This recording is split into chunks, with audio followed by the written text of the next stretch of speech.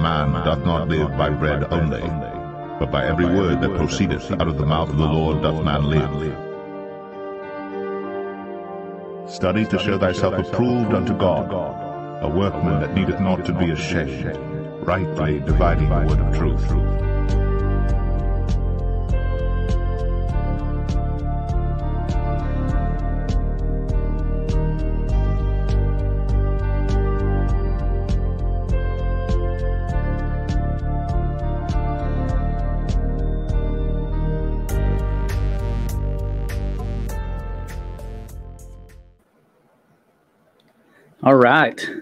How's everyone doing?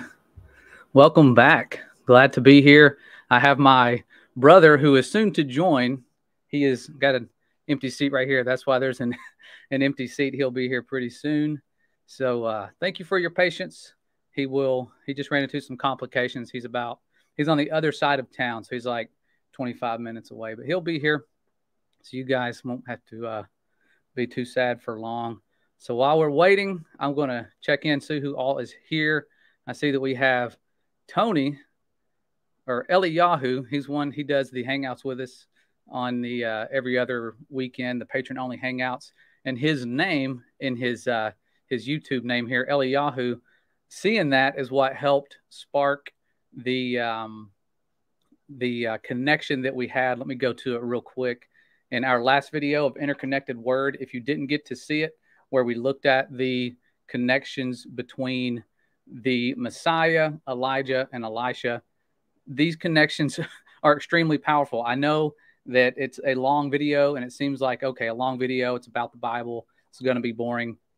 I, I, recommend you watch it. It's not boring whatsoever. I mean, my tone is kind of boring, but the uh, video itself, the content is really uh, some groundbreaking things that I'd never seen before. You guys may have seen them.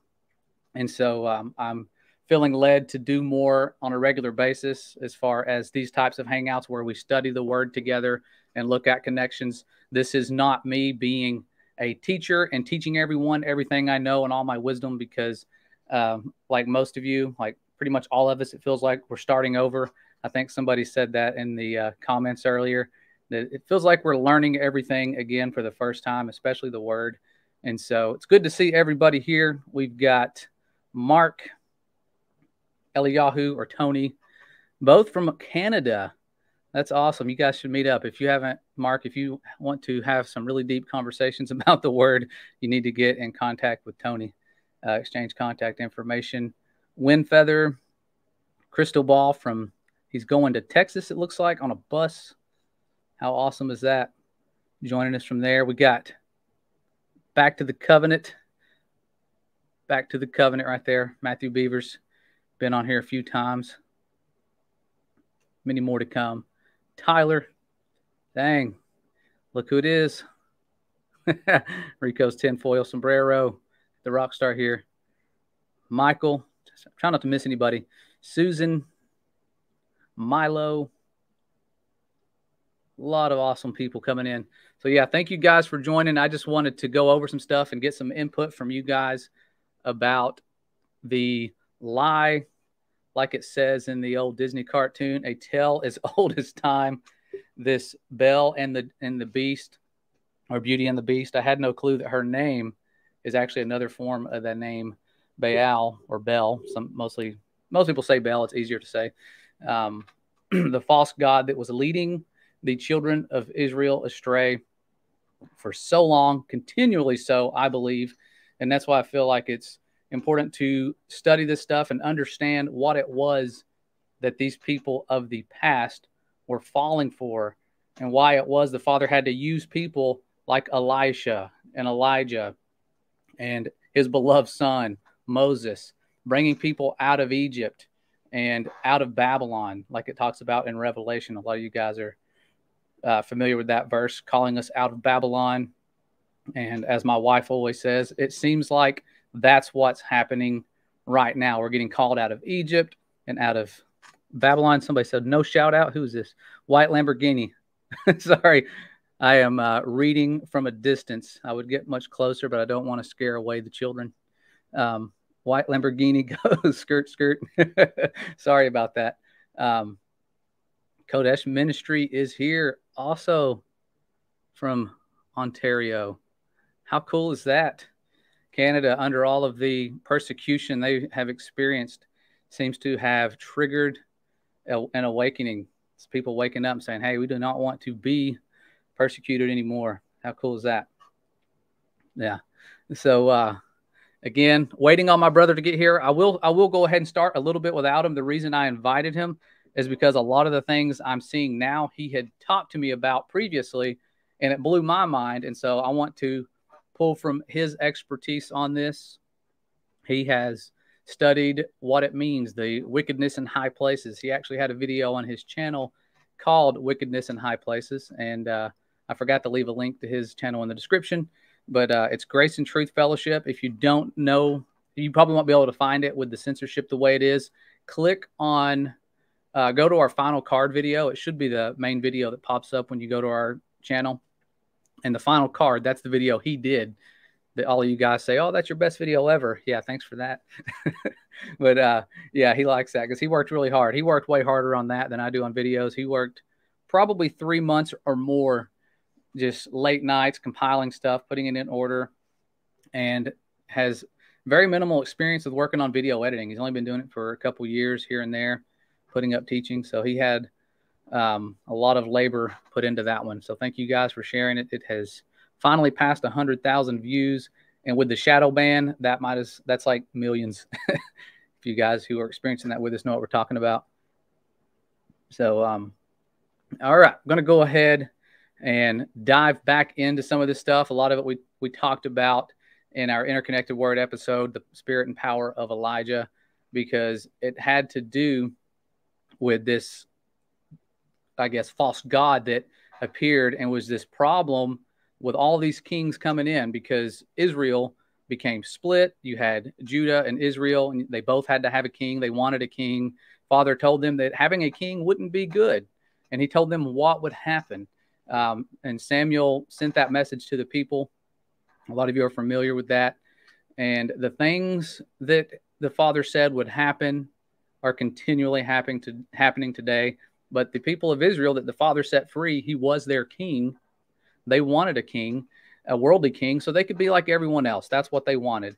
They wanted the uh, worldly wisdom. They wanted to look like everyone else. All these other people who had their cool little, their little um, rulers, and so they got it. And Saul was their ruler. Not good. He ended up doing the things that the Father warned them about. He was not the best king. Then along comes David and the story continues to go on. David's son, Solomon, you hear about the wisdom of Solomon.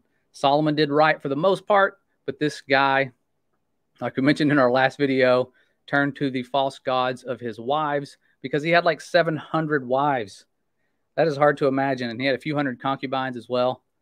We got wildly unpopular Morgan Cadwell in the audience. Shadow bands. Yes, she is the most shadow banned female talent on YouTube.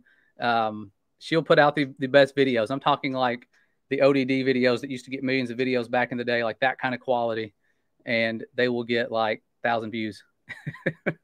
it is it's it's really uh, it's tough, but you have to you know you have to realize you're reaching out of that thousand. If you reach ten people or even one person, it's worth it. And so keep up the the good fight, people like you. We need more wise women out there. I'm noticing there's a lot, and what they bring to the table is powerful and um, my brother wants to do a video about women specifically and some of the misconceptions about their role as far as their voices being heard in, in these last days. I feel like there's been a an effort to silence half the population. Well, now the entire population. Um, but when you look at some of the mistranslations and things and false teachings and twistings of the scriptures used to silence women, it's it's mind blowing, and he's got some really good teachings on that. He wants to talk about that. We might talk about it later on um, during during this video, but again, he'll be here probably. Let's see, it's seven oh nine. He said he'll probably get here around seven thirty. So just a little late. Had to have somebody watch his kids. Parents know how that is, but um, let me go ahead and get rid of the. Uh, oops get rid of the comments so you guys can see. I'm still figuring out StreamYard, trying to get better at it because it, it seems to be a good tool to use for these types of things. Yes, uh, Heather said, "My husband would not want 700 of me." Yeah, that's my wife. You know, we talked about it. I'm like, I don't know how we could do this. Making one woman happy is like your life's mission, and it's really hard, and you really almost, almost, um, it's it's almost impossible uh, challenge. And uh, the Father wants us to love them. That's why He commands us to love our wives. And if you love them, you are going to do right by them. You're not just going to use them as some sort of servant, which is what a lot of people think women are. Their contribution to life is far more powerful in terms of growing the children, feeding them. Like my wife right now, we just had our our fifth child, child number five. He's our fourth boy, and so that just going into the hospital where all these women are going through all of this it just you don't as you get older you start to see and appreciate it a lot more. It's what these these women contribute to life is such a blessing. And their love is a lot like the father's love how he goes through all this pain for us. And yet no matter what we've turned our backs on him. When we turn back to him he picks us up he loves us. And that is a mother's love. They go through all of this pain all this long suffering to give birth to their children to feed them give them food just like the father gave the children of egypt manna from heaven for a long time. I always thought that it was just this short window of time. It was like 40 years or more. I mean, just like feeding them, your food is brought to you and manna from heaven. And so, women, um, wouldn't say it was 40 years of nursing, but a couple years usually of nursing, they're giving you this food for free. And they just love you unconditionally, no matter how how much you take them for granted. All right, getting more people joining in. So um, I will go ahead and get started. I said that a second ago. Sorry, I get a little distracted. Um, let me see if I can get rid of the comment again. But yeah, the title of this video, Bel and the Beast, is that tell or a lie that's as old as time. This is an old lie, but it is rebranded and repurposed, and you'll see um, the connections in uh, just a second. And a lot of them we talked about when we looked at those kings in our in our last video of interconnected word. And people like Elijah was where you see the father's handiwork because Elisha, or I'm sorry, I get their names uh, uh, crisscrossed. Elijah or Eliyahu. You'll see the significance in the Hebrew form of his name if you watch our interconnected word video. Um, but that specific person the one that we were told in prophecy would come before the great and dreadful day of the Lord. And then you see that in the New Testament with the spirit and power of Elijah. That character, his purpose was to take people and turn them away from the worship of this specific deity or set of deities. As I'm learning that title, Baal or Bel, really means Lord, and there was several versions of this um, this demon, this power of darkness, whatever he was that was deceiving them, they were mimicking what the father had his children doing. That's what the enemy likes to do. The father likes sacrifice. He wanted people to sacrifice to him or her. Sometimes there's a female version. It gets weird. Um, but these these powers of darkness, they want you to sacrifice to them, sacrifice your children, your firstborn, all these different things. They have all these different requirements you hear about that when you start looking into the powers of darkness, but that was his purpose. There were all these prophets of, of Bel. I think there was, let me see, 450 of them and 400 prophets of the groves. Those groves are significant. Many of you have heard about the Bohemian groves. That is the groves that we know of in America. I'm sure there's more of them, but that's the one that we know of um, that gets kind of passed around in the conspiracy circles. People look into that. That's one of the first things I remember seeing is like, wow, these people are still doing this stuff today. It did not go away, but the Father uses people like us and like Elijah to turn those people away from them. And that's where trusting Him is involved because he was going against a bunch of them. He was outnumbered um, 850. Am I getting the math right? 850 to 1 all these prophets, but it gets quite comical when they start crying out to their God to burn their sacrifice. He had this little cook off challenge where he says, All right, let's set it up. Let's set up a sacrifice. If that's what you know you guys like to do for your false God, we'll see whose God is real, whose father shows up. And just like that pillar of fire at Egypt, uh, with the Red Sea crossing, where the evidence of that is still there. There's still melted sand. The pillar of fire showed up yet again, and this time it showed up for Elijah, and it's and it consumed his sacrifice that he had made for the Father. Really cool story. Not going to cover that again. That's a a, uh, a lengthy story. It's worth understanding and looking at again, and finding out why why people were doing the things they were doing and why the things that are going on today are going on. But um, let me see what verse I'm looking for. Here it is. Okay, here is something I, my wife found that in the book of Jubilees, and it is extremely, extremely telling because the father was talking to Moses. This is like another version of Genesis. It goes over a lot of the same things but he was talking to Moses and t- talking about how he knew the people were going to turn from him and do the things they're going to do, but how he would still reveal his mercy and his grace to them. And um, he's talking about the things that they were going to do and they did do as you read on in um, the books that follow, First and Second Kings, especially. It says here, and they will make to themselves high places. That's when you hear when you hear about high places, wickedness in high places that's what it's talking about. And groves and graven images. And they will worship each his own graven image so as to go astray. And they will sacrifice their children to demons.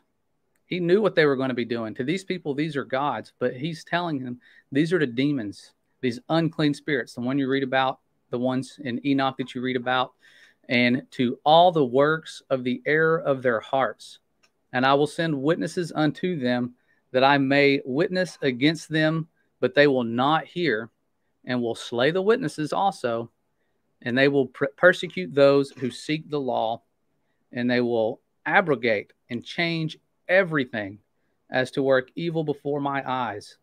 So that's what these unclean spirits are doing, trying to make the Father angry, changing everything, his appointed times, all the different things they can change. They have got their hands in it changing these things. And it has been an ongoing mission. And that is why we are blessed to see so many of you, um, even in the in the comments here, that are truth soldiers that are sharing the truth about our Father, His will, what He wants for us, and how we're supposed to actually live, and all the ways that we have been deceived. So I'm going to skip forward here. This is another verse uh, later on in Jubilees. I'm not going to read the whole thing, but it talks about those teachings of the watchers, how they came back after the flood. We mentioned this in our Who They Are and Why They Lie series. And so, if you want to understand more of that and how those lies returned, this is it. But it has those teachings of the watchers whenever they were branching out and um, the offsprings of Noah or his descendants. It says they had carved their things on these rocks. And so, of course, that would survive a flood. If you're carving these teachings into rock, which is what they did back then, those teachings remained. There's still evidence, things out there that have survived the flood, carvings and rocks that we can see today to know history pre flood as well as post flood. So that's a really cool, another quick look into that. I'm going to skip forward here because I started looking. I was like, you know, I'm reading about this this figure. What are these artifacts? What artifacts do we have that remain? Because they had all these hundreds and thousands of prophets of, of Baal and all of these different temples that they made to him and statues. And sure enough, there are a lot of little statues, and they all look extremely similar. They all have their right hand in the air, left hand down, and their left foot forward. If you look at all of them, their left feet are forward. And this particular deity was thought to be the bringer of rain and dew, like fertility, and that's why I think it was significant when Elijah came into the mix. There was this famine for seven years, this drought. And the father actually brought Elijah food. Meanwhile, those people who were sacrificing to Baal, thinking he's going to give them rain, he couldn't. He's an unclean spirit, um, demonic power, deceiving people with limited, very extremely limited powers and things they can do, but just enough to deceive the kings of this earth just like they are now. And uh, here's some more. Again, you just start compiling them. They all look exactly the same right hand in the air, left foot forward. like the ones similar. Now there's different versions. Here's the one that's in in Rome that I'd seen a while back, and it has the horns. You know, kind of like looks like an offspring between the uh, the golden calf that they had in Egypt. But they they have I found it uh, very interesting that in the one museum that this thing was located in. I'm not sure if it's the same statue put in the Roman Colosseum or if it's just a copy of that. But if you look at the feet of this statue, where people would probably be laying down their infants when they were sacrificing back in the day, this museum has a set of reclining chairs that are red, where you just lay back and look up at this thing. I've never seen a display in a museum where they've done that. Of course, I don't go to a lot of museums, but uh, kind of just letting these people who think it's all art go, oh, wow, look, here's a red chair. Let me lay down in it, having no clue the history behind this stuff. And that history starts to become more apparent when you look at modern day statues, things that we thought were so innocent, these light bearing torches that we see with the Statue of Liberty. And sooner or later, you do some digging, you find out uh, things like this that we've, we've talked about before, where you have the replica of the Statue of Liberty. It just happens to be older. And 1795, when this painting was made, the, and it's actually titled Satan Summoning His Legions. And I saw this. I think it was Maria Abramovich standing in front of the painting with uh, some wealthy guy. I can't remember one of those evil guys, and um, they were just kind of like grinning, standing in front of that. But it is a copy and paste of the Statue of Liberty, and is in the exact same pose, um, almost not the exact same as other arms raised up over the air, up in the air. But he's got that little staff in his hand, like a lot of those uh, statues did, and it's a lot like the Statue of Liberty which is exactly like a, the statues of Helios in the past. And then I found this interesting. There was a documentary called Hail Satan, and if you look at their cover, they have they must have uh, known something that a lot of us didn't know. They have this Baphomet looking head directly on top of the Statue of Liberty. I didn't know that. I'd never seen that movie. Don't plan on watching it. I know it's it's evil, but uh, they knew something, I'm, I'm sure, or they just thought it would be artistic. Like a lot of people, they kind of claim that it's art when later on you figure out it's not exactly what it was. So there they are, Baal, and where where the um, the Satan and Baal connection to me became more clear was when I was looking in the Book of Jubilees. I will try to find it um, in just a second, but uh, there they are there's the feet. you can see the feet of the Statue of Liberty. I, I, think it was cut off in the last picture. Left foot forward, right foot backward, just like the Satan painting. This is more of the symbology. And the feet, also with the feet, not only are they just like those statues of Baal, there's a verse that talks about this. It says, The angels which kept not their first estate, but left their own habitation he hath reserved in everlasting chains under darkness unto the judgment of the great day. And there it is. Look, the chains. They have a broken chain. How ironic. It's all intentional. The new Colossus, they call it. And here, yet again, I found this interesting. The um, Washington, almost said the Washington Monument. That's not the Washington Monument. We'll look at that here in a second. Um, that's George Washington and his pose just like that with the obvious putting that left foot forward doing the hokey pokey when they were being painted i don't know um, hopefully they turned themselves around we got uh, same thing here with with the um, demon baphomet here left foot forward it's over top of his right foot or hers depending on who you talk to i think he's kind of trans um, now, here's a little bit of uh, description I found about this false god Baal. It says, the sun god under the general title of Bel or Lord was the chief object of worship of the Canaanites. Each locality had its special Bel, and the various local Bels were summed up under the name of Balaam. So you'll hear that in the Bible when it says Balaam, it's talking about it's summing them up. They usually had them in, you know, sets of tree, triads. You see that in Egypt, Egyptian paintings and stuff all the time, and all their statues. They usually have three deities together. But each, it says, each one had a wife who was a colorless reflection. That'll be interesting here in just a little bit. Um, trying to wait for my brother to get here to go too far. But the um, Babylonian, surprise, surprise, comes from Babylon. Um, Bel Merodach, I was talking about this. I'm trying to read the word. Tony knows how to say it. He's in the chat. Um, was a sun god, and so too was the Can Bel, whose full title was Bel. I hate saying their names. Um, Lord of Heaven.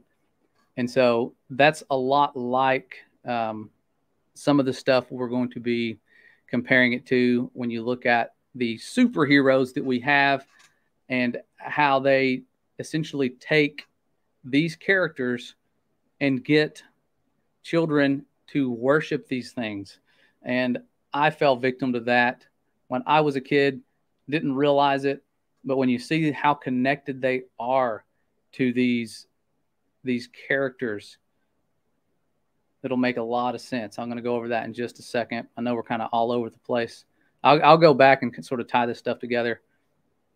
But um, this is in Washington, D.C.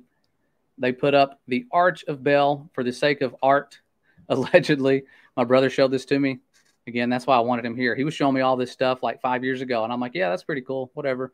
Not into that. I'm into flat Earth right now. I'm not going to look at uh, all this stuff get too deep into it. But um, like we said, it's sun god worship. The sun god worship is why we believed what we believed about the world revolving around the sun or their god, Bel, Helios. It's all interconnected. Tammuz, Nimrod. They have all these different characters that they pull from that just change over time. The name changes, but it stays the same. Kind of like um, the powers of Rome, how DC used to be, where the capital sits, was called Rome, Maryland. They still mimic Rome with all of their ways, with the capital and all that stuff. The guy that owned it, like we said before, was called, his name was literally Francis Pope, just like Pope Francis some of the stuff that just seems uh, too far fetched. Oops, same picture again. Um, more symbology there. I thought it was interesting that that same deity looks a lot like the Beauty and the Beast, Belle and the Beast character. Here's my bro. He's here. I think I just heard him walk in. There he is. It's okay. You could be late. I'm just talking about you. there it is again on the ancient maps. What's up? How's everybody doing? see who we got. Yeah, this is the one you guys always say is um, the better of the two. The better of the two makes better videos. My clone. He's a little darker than me. He's spent a little bit more time outside lately. Really? Am I darker? Yeah. Yeah, a little bit. Yeah. Looks like just a floating head because we got a black background. I should change the background so you can see him. but yeah, um, I've been cloned. He's the reason why cloning is illegal why it was made illegal back in the 80s. You guys probably remember that. Yeah. He's the reason. he said I was planned and he wasn't. Yeah. He's seven minutes older than me. There's my little girl making a debut. He's not back here. All right. Yeah. Somebody said, I'm going to come back. What did they say? I just missed a comment. I'm a clone back in 2015. Oh. yeah. Oh, yeah, you have to lock the door to keep that little one out. A little girl. But yeah, we've been we've been looking at some of the stuff, and uh, I'll go back to the ones. This is one of the first ones he showed me that they they put up in DC. So I was going to ask him questions because he he's the reason I got him here was to help help me understand some of the stuff better because he had the video on his channel called Wickedness in High Places and he wanted me to put it on this channel, and I was like, "Thank God you did." Yeah, it got deleted. Actually, it got deleted like three years later, which is kind of strange. Yeah, they waited three years, and they were like, "We'll take that down." um, once but, you got above a certain amount of followers, they but yeah, it, it kind of went. It goes back to I was uh, I was doing a study on the Old Testament actually, and I was doing a, a video. We were doing a series. It was called "Is God Always Good?" And everybody kept commenting on the first one and saying, "Yeah, you keep talking about the New Testament God, but what about the Old Testament God?" So it was like and they started throwing out all these verses of God telling these people to do certain things. And so I started really asking God about why is that? Why why would God tell everyone to just wipe out a certain part of this, you know, this this certain tribe or this certain group of people? And uh, when you really look into it, the spiritual side of it, these people were almost, and it's funny because it's, you kind of accidentally stumbled across how it's going on today just by looking into the Old Testament. Because in the Book of Kings, you got all these people who keep building this, you know, temple and this altar to Baal and all this kind of stuff. And it was over and over again. Some king would rise up and destroy it, but it kept coming back. And I thought I was reading the same page by accident. I'm like, didn't I just read this? Because it kind of kept happening. And uh, I stumbled across the fact that this archway that he was just showing in the picture was being paraded at, at the time I was doing this study actually was being paraded around the world. It was being sh- shown in these different places and it was shown in our capital and the dates that it was being shown there and they tried to act like it was just art. It was just something on an exhibit. But the day that it was put there would coincide with like the feast of the beast or some really big occult ritual day. It was never just a random day that it showed up and it was never a random day that it just left uh, which you know nothing nothing kind of surprises us anymore with all this stuff. But uh, yeah, the same stuff they were dealing with in the Old Testament, the same when you listen to testimonies from these people who have been around the rulers of the world and the kind of rituals they do, they're doing the same things they were doing thousands of years ago. It's not really changed much. Yeah, and you you mentioned another thing. You said, um, let me see if I can find it. Um, you said that Thor was another title yeah. for Bel. Mm-hmm. And I thought that was interesting because I saw the, the preview flashed up on YouTube for this new Thor movie. And the guy, the bad guy who's trying to destroy these gods, which um, I would look at them as like the Bels and the false gods. Um, it's weird that the supervillain is going after them. His name is actually Christian Bell, but uh, that's not where it gets weird. I saw that they put up on their title of, of their video while it's playing. In God's we trust. Yeah, I and, think it's funny. I always wondered why celebrities change their names, like Michael J. Fox, all these different people, and you go back and find out that wasn't their birth name. And I always thought it was odd, like why does a celebrity? And it's like, oh, well, they need a name that has star appeal. But I think there's more to that. I think it's how like when uh, the disciples were given different names, different titles. I think mm-hmm. there's a, a, an occult side to that too. These people being given different names, and they usually represent some ancient deity or some. You'll, you'll find out that they all kind of dedicated to someone. Yeah. Oh, there he is, Christian Bell. That was his slogan, and all gods will die. Yeah, he's the bad guy. Um, and Thor, his last he name. He was great in Batman, though. Yeah, he was. Christian Bell was pretty good at Batman. Um, Thor, uh, Odinson, his last name is Odin son because he's Odin's son, and Odin is this leader. I don't know why it's cutting that off. This uh, leader of the possessed somehow my slides are overlapping. Something's wrong. Um, and that's where Odin is where we actually get because the way it was pronounced Woden in the, its original language is where we get Wednesday from, and Thursday is Thursday. So two days of our week after these false gods. At least Saturday's not yeah. anything bad. yeah. So we've got all of this stuff and um, the right eye the right eye stuff that you guys see in the Hollywood um, symbols and symbology that they put out there. It, it, reminded me of a verse. Is that the verse you were talking about? The right eye being darkened. I always thought it said utterly destroyed, but it, it does. There are different translations, different translations. utterly dismayed, yeah, things like that. Uh, to the idle shepherd, and you read that word idle, and I'm thinking like not moving, but idle. It's like I D O L, mm-hmm. like an actual idol um, that leaves the flock. The sword shall be upon his arm and upon his right eye. So uh, yeah, there he is. Just like his his father Odin, who had the right eye missing, he gave up. I think the the myths about that is he gave up his right eye for wisdom and all this stuff, kind of like selling your soul. He had to make a sacrifice because that's what they these unclean spirits like for people to do is make a lot of these sacrifices. And uh, I think I deleted. I must have deleted some of the slides because I had some more of the stuff with Thor, who in this new one, in this new movie, see if I can find it that slide again. Sorry, these little things are small. His wife is like a clone of him, and and with Bel, who's also Thor, um, his wives, all of their wives are always a mirror image of themselves, kind of kind of weird. So she looks just like him. She can carry the hammer. She's got the same suit and all that. Can't make this stuff up. And um, but his video, wickedness in high places. We're gonna get into the high places stuff here. Um, that had me interesting because what are these high places? And uh, I've been looking into that because there's a lot of these things. You see those um, obelisks popping up everywhere. They're in. They're in. There's the Washington Monument, and there's a 13 of them in Rome, of course, in Rome. And when I'm looking at them, I thought, oh, they made their own. They wanted to kind of be like Egypt, kind of how we copy Rome. But no, they were many, many years ago, hundreds of years ago, transporting them directly from these temples to these false gods in Egypt to places like Rome, France, and assembling them, just like we got our Statue of Liberty from France. They would they would put these strict orders. You're going to bring this here, and if this thing breaks, you're going to die. Like you have to get this here. This wasn't like they had these nice fancy barges with smooth paved roads like we have now. Like I couldn't imagine moving these massive monuments from those places, but it was that important to them to be like these people who had these high places.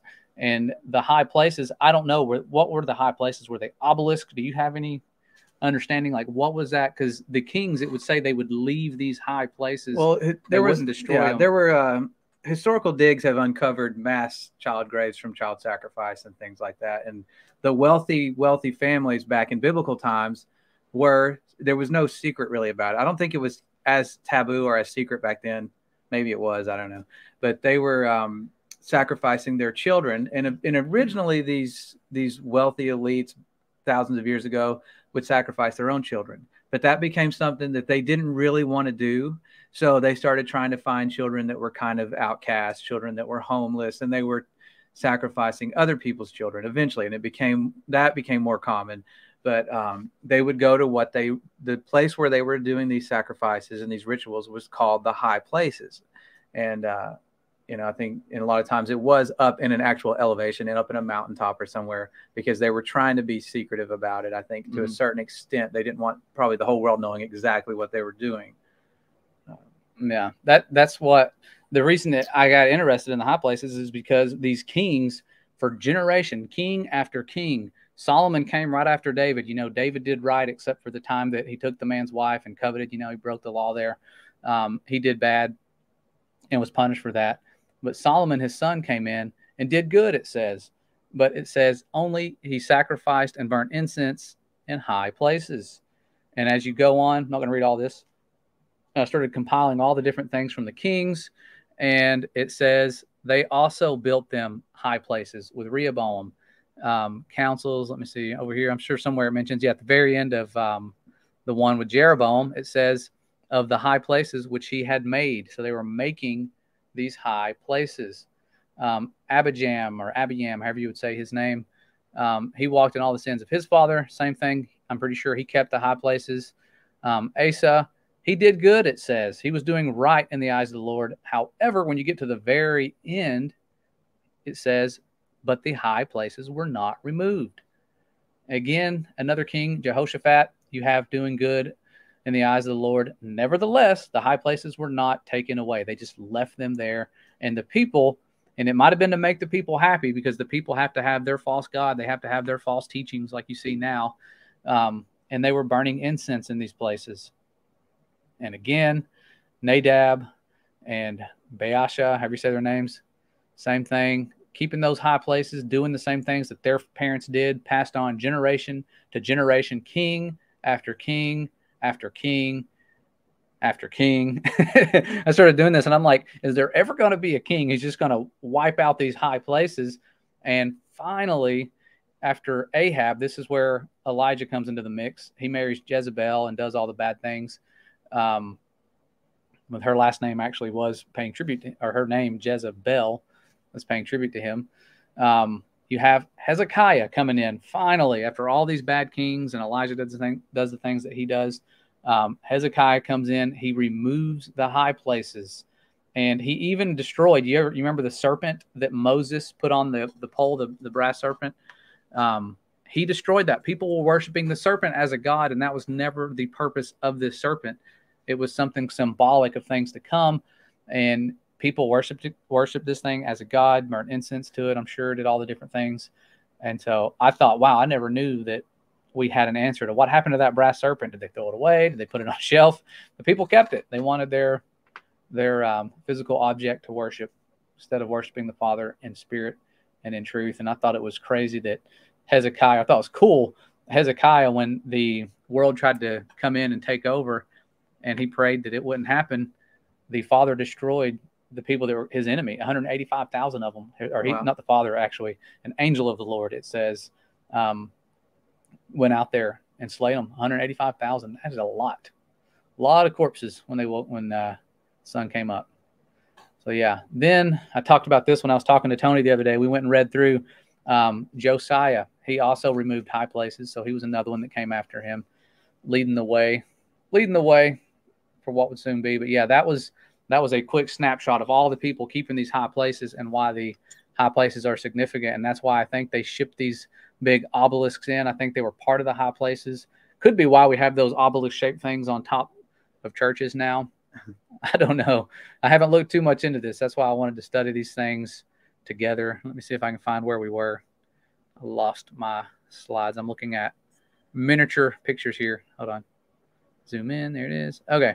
So, yeah, here they are. Here is some of the ones around the world. There's 10 major ones, like 10 giant ones.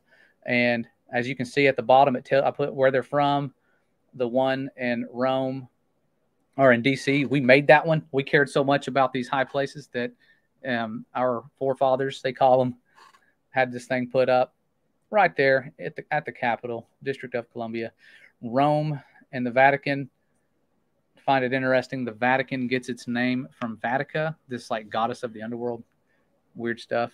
But it's a four thousand year old Egyptian obelisk that they transported. 4,000 years old. I think it's ancient. Hmm. And then Luxor, it's in uh, France. It's also transported from Egypt. And what really is interesting, because you have the rest of them again, one's in Argentina, and the last one transported to Rome from Egypt as well. Um, there's some more. Let me go to the next picture. Where'd it go? It's an old coin of the high place. But right there behind this thing, the one that they transported from Egypt, they have a massive looking obelisk, and it's called the Eiffel Tower. I never looked at that thing as an obelisk, and now I'm like, now that's all I can see. I don't know. Maybe I'm looking too much into that, but even the base kind of looks looks the same. And this thing is world famous. Like everybody wants to go there. I've been there. We got to climb the tower. I thought it was cool. I thought, you know, somebody built this because of, again, to display their art, you know, and and do their things and be creative. Yet there it is. What do you think, bro? Eh, just an Eiffel Tower to me. Just the Eiffel Tower. No biggie. They're not copying their the wisdom of the fallen there whatsoever. Yeah. So really cool stuff. But we were talking about these um these superheroes and sort of like how they how they base a lot of them on their false gods. And me and me and my bro, we grew up being huge Superman fans. It's so innocent seeming. Ruined my childhood when I figured out Superman was not even plausible. Mm-hmm. Could have just been a demon. Yeah.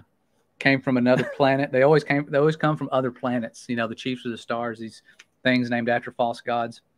And uh his name, Kal-El, when you look at it, it's actually spelled with a dash, like Kal dash L, and L means God. So he was literally a light god. And in the uh, 1978 movie, um, what's it? Marlon Brando, the guy that does the voice of his dad, says, "I sent them you, my only son." Yeah. you know they're they're playing on this messiah figure and me and him that's who we idolized we wanted to be like that we had superman pajamas that we wore every day We wore the pajamas to daycare so Yeah. we could transform Yeah. into Superman in the bathroom and come out and save someone. yeah that was that was one that was my my vision was me put having this the superman pajamas under my regular clothes going Wait, to that freshman year of high school? freshman No. year no this was age four or five, probably five. I'd hate to admit that I was probably five. I don't know. We were, I think, no, four. It was before we went to school. Um, but our mom was in cosmetology school. We'd go to the daycare, and that was when we were superhero, Superman freaks, like fanatics, and um, wore these things, like we said, every day. And I tried to sneak into the daycare wearing them under my clothes, and I was going to go to the restroom, you know, like he goes to the phone booth, change, and come out and fly around the room in my imagination and prove to everyone that I was Superman. Um, and thankfully, on the way out the door, my mom saw the the uh, sleeves bunched up under my shirt and goes, "What is that?" and she caught me and was like, "Take that off now."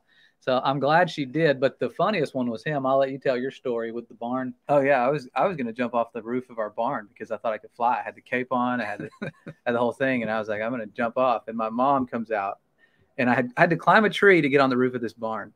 So I'm up there, and Josh was watching me. He was like, "Come on, jump!" I was like, "I'm gonna fly down." And my mom walked out, and uh, she goes, "What are you doing up there?" And I said, "I'm gonna fly down." And she goes, "If you're gonna fly down, why don't you just fly up there?" And it was like, common sense. I was like, that's a good point. I better climb back down the tree. it just flew up here if I could fly. I Yeah. thought I needed height. but that's that's how much faith we had in our our superhero idols that we literally idolized. I mean, we spent we always you know we tried to do our hair that way, you try to look that way, and like we always wanted to be like Superman, and, and it's it's good. He fights the bad guys, and so it does. And it's I'm not condemning people who who are superhero uh, fanatics because that's what we were our entire lives. I just thought it, it's always interesting to look into it and see that I mean, I still like them. I still like Batman. Surely that's not based on some pagan bat god, right? Yeah, it probably Oh, is. yeah, Batman probably It, definitely. it actually is, but who, you know what? yeah, yeah. We went and we watched. I still watch Christian. Uh, what was it? Robert Pattinson. Yeah. Robert Pattinson Batman. Yeah, three-hour movie. Oh my gosh. yeah, that was funny. And what else did I have on here? Um, oh, more stuff about the high places. Lots of the stuff. I'm going to go back, get back to what we were talking about earlier, which was um, that worshiping of Baal. If I can find my slide, sorry guys, it's hard to see all the stuff on here when it's microscopic. How many slides did you put in here? Only 50. Oh, there's right. more than fifty. Oh, there it is. Bel Air. Um, the significance of that that name. You guys know the Fresh Prince of Bel Air. Um, I was reading in the book of Jubilees as well. I know this is I quoted quite a few things from here, but um, at the first chapter, chapter one, uh, Moses is talking uh, to the Father. He says, "Let Thy mercy, O Lord, be lifted up upon Thy people, and create in them an upright spirit, and let not the spirit of Bel Air rule over them, to accuse them before Thee, and to ensnare them from all the paths of righteousness, so that they may perish from before Thy face." And so I thought, man, spirit of Bel Air. And I read this. This is right around the time that the Fresh Prince of Bel Air slapped Chris Rock in the face, and everybody was talking about that. And uh, Tony said, "Yeah, it's interesting. The Fresh Prince slapped the Rock. The Rock was what smiting, smiting the Rock or hitting the Rock was what kept Moses from going to the Promised Land." Um, but that Fresh Prince of Bel Air, Bel Air, when you look that up, you see all those familiar words for Bel, and it's essentially says here a term occurring in the Hebrew Bible, which later became personified as the devil. Wow. So Bel Air starts with the word Bel. So Satan worshiping, Bel worshiping, starting to look like it's more of the same. And then when you look at the extended version of that song of the Fresh Prince of Bel Air, he says, I sprang with quickness like lightning, disappeared. I looked at my kingdom. I was finally there. Set on my throne, the Fresh Prince of Satan of Bel Air. and uh, where that gets, uh, where I saw the connections there was with Luke where it says, And he said unto them, I beheld Satan as Yeah. lightning fall from heaven. They took that part out of the one they put on TV. I guess they didn't want people to look up what Bel Air actually means. And in his name, Fresh Prince of Bel Air, there's a dash between Bel and Air. Hmm. Always putting that stuff in plain sight. So, yeah, interesting uh, connections. But these um, powers of darkness and the wickedness, the cool thing I found about my brother's research is that we have the Father's power on our side, the Holy Spirit. Like when you look at the things that Elijah did in his in the Father's beloved Son that He sent, that came along and did all these miracles, these unclean spirits being cast out, and they're not able to do the things that they could do to deceive when the Father shows up.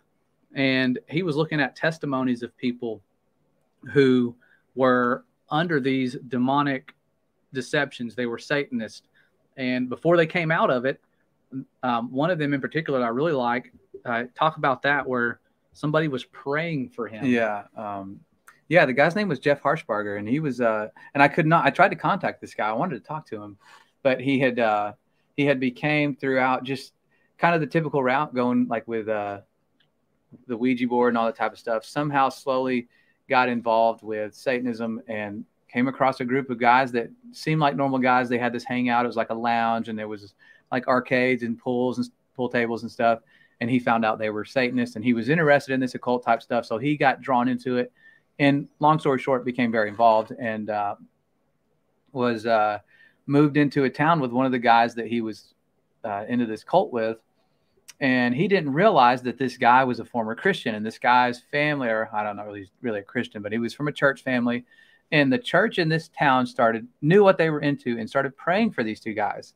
And this guy Jeff was all of a sudden in turmoil. He couldn't sleep. Something was just off, and uh, he couldn't kind of figure out what was wrong with him. He almost started becoming like suicidal all of a sudden. And he went to one of his high hmm. priests and he said, "I'm not sure what's going on. We've come to this town." And you know, he started explaining his symptoms. And the priest, the priest of his cult, said, "Well, you're being angelically oppressed." And he had never heard of that. And he said, What do you mean? He said, Well, this town you've just entered, people are praying for you, and it's preventing the demons inside of you from doing what it is they want to do. And uh, so the prayers of the people were actually interfering with the demons inside of this guy who was a Satanist. And he says that he comes basically to the end of his rope because one thing you hear a lot when you listen to these testimonies of people coming out of those types of things is they start hearing this loud voice telling them to kill themselves, kill yourself. When the adversary knows you're about to see the light and you're about to be risen out of something, he starts really loudly telling these people, go kill yourself, go kill yourself. And I kept hearing that throughout all these testimonies I was listening to. But uh, he said he went outside his window and he felt like he could feel God's presence. And he started going to uh, different churches and different uh, people that of faith and trying to get somebody to help him and help him understand what's going on. Mm-hmm. And he said he finally found a Christian family a, a, from a church in his town that understood what he was talking about and they knew he was possessed. And he said they helped cast the demons out of him. And he said it was the greatest feeling he's ever had, this feeling of freedom. But I just thought it was interesting that the people who were actually able to do anything against this guy who was a Satanist were people who were praying for him, not against him. And I think that's important for us to remember is that it's not about, it's not against flesh and blood. It, it, these people actually can be helped. You know, you see somebody like that, and you it, you would be easily to say that's the enemy, and we got to pray against them, and we got to kick them out of the town. We got to do all this stuff. But they started praying for him, and there's power to that when you're mm-hmm. really pray. When when Jesus said, "Love your enemy," pray for your enemy too. You know, if you love somebody, pray for them, and uh, that his testimony to me was really powerful. And, and that's a lot of the mm-hmm. Satanists. They had somebody in their life, somebody around them that was praying for them, and somebody around them that was trying to kind of reach them through the spirit and came at them. They always said, they came at me with love and said, God loves you. And that's what breaks them. And that's what kind of because they they're they're conditioned to think God hates them. And their life was miserable before they became a Satanist or before they got involved in this stuff. And they think, God hates me. He never wanted me. I'm an outcast. These people took me in and they don't understand God's love. And a lot of them came to God because they were kind of showed that by somebody else. Mm-hmm. Yeah. And that's, that's where we separate ourselves. We get condemned. We feel like, why would he want to talk to me? Why would he want time with somebody like yeah. me? And you're the reason why he parted the waters, mm-hmm. the reason why he made his covenant with Abraham, the reason why he sent his son he wants time with you, and He's shown us that time and time again. It's hard to imagine the creator of heaven and earth being lonely enough to want time with us, but you look at his children and what they've, the deceptions they're under, they don't even know what they live on. And he is right there and they don't even know it. And so we, we have to really like, like the, like the, like the Messiah tells us, be a light. Don't hide that light. And I think we kind of get caught up in the stress of this world. It's easy to get out in public and just kind of hide yourself and mm-hmm. like like you feel like you're hiding your light. You're like, I don't want to be seen. I don't want to be bothered. It's going to take energy. It's going to take this, or I don't look good, or whatever. Uh, it doesn't matter. Try to let that light shine. And because we, we get around you guys, we get to see a lot of you when we have our meetups, and that light is just like it's overwhelming. I mean, it's powerful having that many in one room, and sometimes you guys are the only light in a room when you go there. They don't they don't know the Father. They don't know His mercy and His compassion. So it's good to share that with your example of love that you have, like he was saying yourself. So yeah, we are uh, getting uh, deep into this stuff, and if you ha- guys have any questions, feel free to ask. Make sure um, put it in all caps. I've seen people do that, and it's successful, so you can see the questions better. Hit the caps lock key, type it up. Um, I had a lot of questions earlier. Some a lot of people were asking if we are twins. I think we are. We look Yeah. more alike now than we used to, probably. yeah, we're twins. Um, our, our testimony is pretty cool. I want to get him. yeah, we're actually I together. identical, but we didn't know it. And we don't look, I think a lot of people could obviously say we don't look identical. We haven't looked identical. We looked identical up until about the age of eight or nine. Uh, but what was funny was we found out we were identical by doing a fingerprint test, just kind of goofing around. He, he does inv- um, forensic science, and they had Yeah. a fingerprint kit, and that's how we found out we were identical. When's the next meetup? We need to have one really soon. Yeah, soon. Now that the baby's here, we can have have a meetup. Probably. We don't have one scheduled yet. Though. I don't have one scheduled. I I like to plan them like a month in advance, so we have, or at least no no less than three. It would be nice to do time. one in July, though. That'd be a good time to have one. Let's see if Who I wants can- to host it? Yeah. Talking about a meetup, like your power just yeah, I know. Yeah, it's weird. You almost shut off. um we I was talking I did a podcast I shared it in a community post with this guy um, from Columbia, and we started talking about Bohemian Groves and he's like I know this guy who lived right next to it and here's all the cool stuff he saw. And as he's telling me that my internet shut off and his internet shut off. Two different places at the exact same time. And I was like that's weird. He goes it's all right man. We've got enough. I, I it's like yeah. I'm like man yeah, me and me and him, and one day interviewed this lady. She was a survivor of uh, the Bavarian Illuminati and that kind of stuff. And she grew up. Her mom married into it, and she was sharing all these names, all this stuff, uh, like some really good uh, information with us. And at the end of the interview, I was like, "Dude, that was deep. Like all the stuff she just shared. I don't even. I'm afraid to post this." And we went to play back the interview, and it had totally been muted somehow. And we were like, "What?" All you had was us going, "Okay, go," and Yeah. then it just cut out. It's funny how technology almost it just knew. sabotages you. Yeah, and he said, um, he said, he asked her, he said, can we redo this? Because the stuff that you look into that sounds like, man, that's a conspiracy. There's no way these these people in these groves are doing these things, you know, Bohemian groves and all that. There's no way they're doing these things. Yeah. The stuff she said was heartbreaking because they It's really real. are. It's not just conspiracy stuff. It, it's things that are real. And she was afraid for her life. You could tell she was. She was very afraid for us to share it. Yeah, she we didn't have her face. We were just, just her audio, no name, nothing. And she was older, so she said, you know, the people that were, you know, keeping her in fear, a lot of them had passed on. And so she was like, I think I could do this now. Yeah. But um, we reshot it, did it again. He has the audio. She But- she wouldn't she didn't give me permission. I said, Tell me when you're ready for me to air this and I can air it. But uh yeah. So far she kind of, then she got scared after we talked about it and recorded it again. She was like, I don't want to post it now. So Yeah, I could imagine seeing the Yeah. stuff that she's seen. I mean, these people aren't good people, yeah. And they're the ones that are running this world. You know, the ones that sacrificing, doing the things they can to have the things of this world. And it's better to have. It's better to lose the world and have what the Father can give you than to have all that stuff. All that material stuff is so temporary. It's going to burn up soon. Um, very, very, very soon. It seems like. Let's see. Start. I'm reading comments too now. Sorry, guys.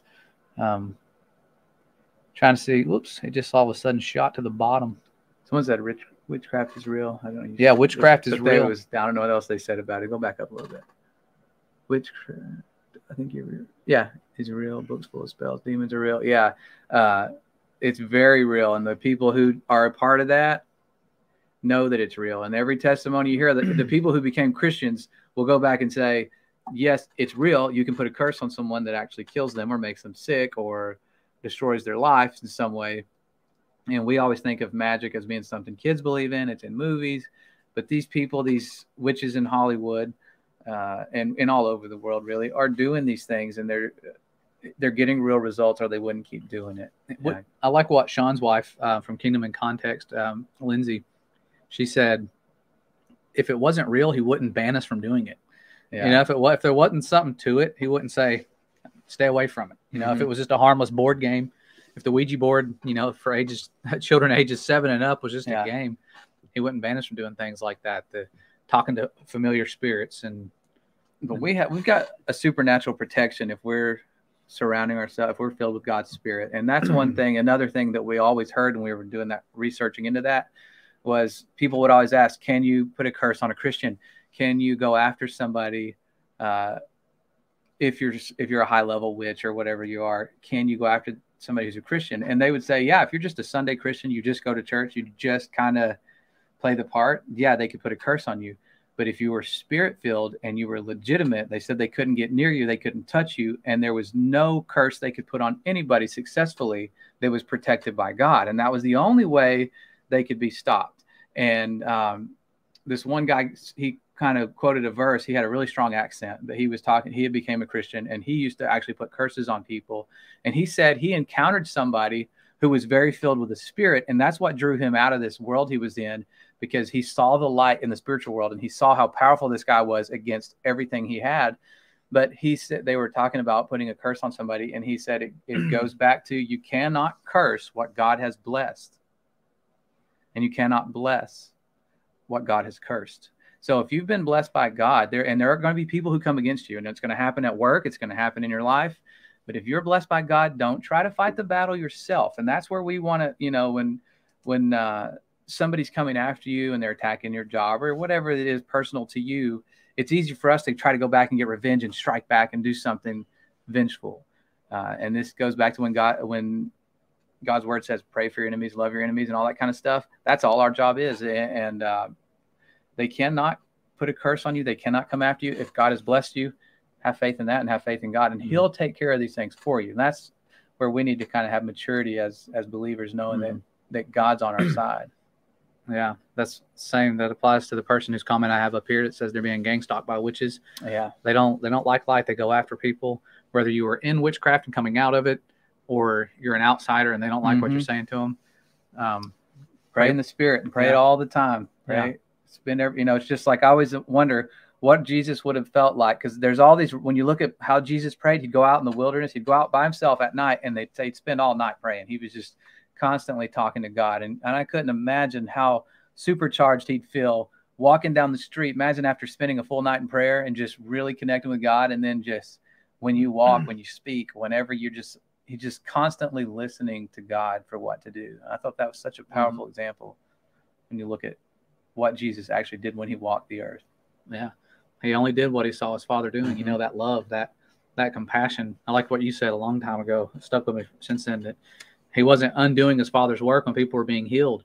And you look at modern day believers when they see something bad with somebody, instead of wanting that person healed, they're like, "Well, God's will was for them to be Yeah. punished, for them to have this cancer or this." Why'd God make him sick? Well, Jesus healed people, so it wasn't God doing it because he wasn't undoing his father's work. Yeah, it's kind of common sense. Counterproductive. Yeah, whose work he was undoing. yeah, undoing the works of the enemy, these unclean spirits that are corrupting all flesh. That's why there's a war against us. You know that corrupting of flesh that's going on now. A lot of people have seen it, and um, it's it's going to ramp up, but you got to endure to the end. Yeah, thank you. I want to say thank you, Kingdom Within, for your super chat. It means a lot. Waiting for the right. Looking for questions. You guys got any questions? I want to stay on here for a little while longer since I got my brother here. It takes a lot. It's a big act to It's a get lot. in To, here. he lives out in the country, man. This- we're in the same town, but we're on opposite ends, and he is way back in the woods. Yeah. Yeah, just built this house way out here. it's nice. Have to have a good place to get away. Flattoberfest. I would love to if I oh can. yeah, that'd be fun. Save, We really need to do that. have to save up. I've heard good things about it. I've never been. I've never even Yeah. looked up how it does. I'll have to get. I'll have to get. Uh, Matt Beavers in here. Had to get him to pay for me. He, he went last year. Oh, he went. I think so. He went to the last one. It's it's really good to meet up with like-minded people and, and just have talks. And, Yeah, it's refreshing. It's like uh, it's the one time you can just feel the spirit Yeah. around you when you when you're talking to people like we are now, talking to people who are out there who are soldiers. It really it, puts you at peace because I, we're not comfortable speaking in front of people and um, being around you guys and hearing your testimonies and stuff and knowing that you're right there with us. It really gives us Somebody peace. said, "How do we cast out demons?" How? Where's it? It was up. I don't know. It just went Oh, away. it It went was like away. up near the top, right there. Yeah. Um, It's not by our power. yeah. And that's the thing is, that He's given us. there's a lot of uh, a lot of people try to put an emphasis on the pronunciation of the name of Jesus. Like if you use the name Jesus, it's not going to work. Or you know, they kind of say you got to say it exactly how Yahushua or Yeshua or whatever the. Uh, when you listen to people who like like we were talking about earlier, who've come out of that world of of inter- encountering people who were anointed while they were trying to put on curses and things like that, they said it wasn't the pronunciation of the name; it was the power and the authority by who these people were speaking. Because if you're speaking from God and it's from the Holy Spirit and it's it's there's going to be power, it's going to be anointed, and whether you say the name Jesus or Yeshua, whatever you say, demons cannot overcome that that authority from the spirit. Like i mean you look back to in the biblical accounts when was it the pharisees were trying to cast out a demon and they got destroyed they got ripped up and thrown out of the room and the, the possessed man laughed about it. You know it's like who we know who paul is we know who uh, jesus is but who are you? They used the correct pronunciation back then but they didn't have the power they didn't have the relationship they didn't have the walk they didn't have this the authority given by god they hadn't received that spirit There you go. Yeah, kind of like um, like Bel. If you've ever read the um, Bel and the Dragon, these unclean spirits deceiving people. They have different ways of deceiving people. They not they, they may not be able to do certain things, um, like eat food, um, things like that. But um, the Bel and the Dragon. If you, it's a short read, it's like you can read it in 15 minutes, um, and it talks about how the king was like, how can how can Daniel over here deny that Bel is a god? He's eating all these food. They were sacrificing like they did to our father. They're copying that, and uh, Daniel's like, "All right, we'll, we'll put it to the test," you know. And so um, the statue, when they put all the food in this room, it, they'd come back the next day, it'd be gone. They're like, "Okay, this false god is eating their god or whatever was eating this food," and um, he sprinkled this light powder across the floor. And so um, when he left before he closed the door up, and um, the king thought, "There's no way anybody can come in here." And um, when he came back, the food's gone. He's like, "See, Daniel, he's a god. He ate all this food." And uh, Daniel's like, "Look again." And on the floor, there's all these footprints leading to this like hidden door that these high priests of Baal had had, and they're getting these free meals, free wine, you know, all the time, uh, constantly. Um, man, thank you guys for the super chats. It's awesome. Yeah, that, we got. Um, we're gonna be doing one on that life after death. Though. the life after death. Yeah, Yeah. we'll be um, talking about that for sure. Thank you, Tony. There's another one up here. Kingdom within. Thank you again. Thy kingdom come, thy will be done.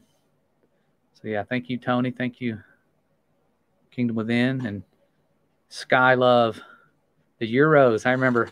I remember trying to when we traveled the country to Europe, trying to use euros and couldn't figure it out. I'm not good with math. Luckily, my wife was there. Um, what was the question you're talking about? Whoops, I've lost it. Oh no, somebody was just saying they couldn't wait to see the one about life after death and hell. Yeah, we're gonna do one pretty soon on that, right? Yeah, we're going to talk about it because somebody, people always have questions. People are like, you know, I want a relationship with the Father, but my grandma just died. She was a non-believer, and she's going to burn for an eternity. And I really don't want to be in a relationship with somebody who that happens because my grandma was sweet. She just was a non-believer and she died. Mhm. Yeah, And so there's a lot of, a lot of misconceptions. yeah, go back to John three sixteen every time because that's the most misunderstood verse, and it gives the God so loved the world he gave his only begotten Son that whoever believes in him shall not perish, but have everlasting life. And those are the two options yeah, that we see um, throughout the Old Testament. There was always this idea that the, there was a flame and there was a fire, but the wicked always perished, and there were always no more. They were always burned up.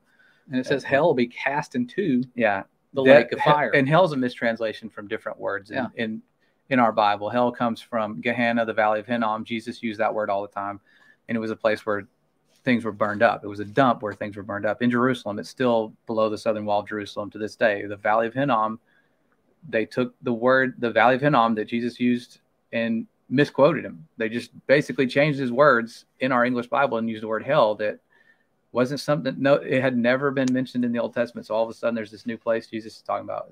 They, knew what he was talking about. Uh, they knew there was a fire coming like in malachi you know that was going to burn the wicked up things like that. Uh, but i think it comes back we're, we're so ingrained in the idea that everyone has eternal life already that we just all have an immortal soul. And that's what confuses a lot of people because that's what Hollywood shows us is that there's this spiritual body that goes up or down, you know, to heaven or hell, and that's not biblical. There's a resurrection and there's a judgment, and there are going to be people cast into a fire, but that's their final judgment. They're burned up. Yeah, Father is just. He he is just, and his punishment is just. I mean, his judgment is what it's all about. And so, the wicked will receive what they deserve. Um, it's always it's sometimes it's swift. You look at it, and a lot of people see that Old Testament kind of wrath, and they don't understand what was going on. Like we talked about the worshiping of Baal. It might just sound like a bunch of people bowing down to a statue, and it's far beyond that. These people that he was sending in his people to wipe out they were sacrificing the children of people daily. I mean, they were doing these things on a regular basis. It was far darker than the G-rated version that we get. It's Yeah. it's it's only seen when you start digging deeper into the stuff they're doing now. Then you realize, oh, they were doing that way back when. It has not changed. And uh, somebody has a question here. I want to answer all questions whenever they pop up. My question is about the chemtrails. They're contrails, okay? No, just kidding. Um, these uh, yeah. these things that we didn't see growing up that are now in the sky. Every single day. They don't take a day off. They have seven days a week. If you want a job, go out putting out chemtrails, Yeah. and they are hiring. yeah. Wonder how much it costs to put out one chemtrail. What, what's the price tag on that to fire up this jet and what have they're- it fly across the sky? With their purpose, it's priceless. Geoengineering. We'll call it geoengineering. There's no price tag for these people. We'll, we'll call it geoengineering. That's what they call it. They call it geoengineering. Sounds safe. Geoengineering. They're um, saving the planet. They watch Captain Planet as a kid, Yeah. and they just want to. The chemtrails are good. It's 120 degrees over here. If it wasn't for them, it would be 125. Yeah. Never mind the metal particles falling to the ground. Yeah, I don't know if it has to do with. Uh, I think it's more of corrupting all flesh than it is Yeah. any type of spell. I think, but it, it does seem like people are under spell that they, they There don't has to notice be- this stuff. like yeah i kind of wonder though it's so important to them to do this what is it actually doing there's got to be something big that we're not seeing hiding the firmament, suffocating Yeah. people, like you know, like causing things to slowly population control, like the guide stones. But it, it's again, it comes back to like Egypt when um, the people of Israel, the seed of Jacob, um, were multiplying, and the king was like, "Oh my goodness, these people they're going to take over. There's there's just so many of them. You need to kill the uh, newborn children." And the midwives feared God, and they didn't do it. And so the father protected them. They, they, the king's commands were disobeyed for a reason because people like you and I wouldn't be here, but we have to be. He's he he knows that not one will be lost, and so um, who those who are supposed to be here will be here in spite of the enemy's tireless efforts to do all these things, take out people, mass shootings, whatever thing they could do. Um, all these things, it's it's the Father's ultimate say on who gets to live and who survives, who his elect are. He already knows. He knows them. and Joy's in the house. I'm gonna say hey to Joy. She made it to our last meetup. Finally got to meet, oh yeah joy meet Joy and her husband, Jesus. His name is Jesus, and on the name tags, yeah, we had Joy, Joy, and Jesus. David Riverstone. Let's see. he said they put sigils in the sky yeah Yeah. definitely yeah down here i don't know if you got Oops. laurie adams down there Where'd it go? right here is that a touch screen No, I, I need a touch Oh, screen. you need one, dude. Get with it.